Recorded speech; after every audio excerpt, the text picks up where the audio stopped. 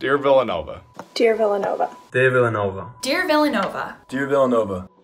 Thank you for four years of laughter, the experiences you have cultivated, and friends that quickly turn into a family. Not only in my four years, but to take with me in all of my future endeavors. I've grown into a better student, athlete, and young adult because of the people I have been surrounded by. With each new person I met, I learned a little more about myself. You have introduced me to professors that challenged me, coaches that believed in me, and most importantly, my brothers for life.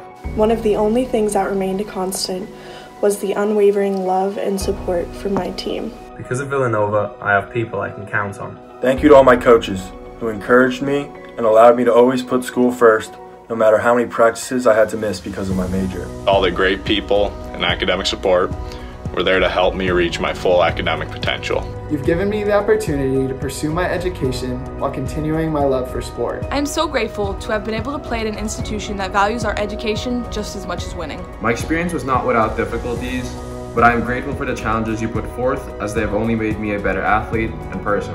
You took a kid from the Bronx, New York, and gave him everything he needed to be successful. Thank you for the countless opportunities to serve and help our community. You showed me that with compassion and generosity, we can all ignite change in our communities. I'm going to miss the 6 a.m. lifts, the long bus rides after matches, and unforgettable wins with my team. Thank you for giving me a support staff of teachers, coaches, trainers, mentors, and advisors who made my successes and failures a priority of their own.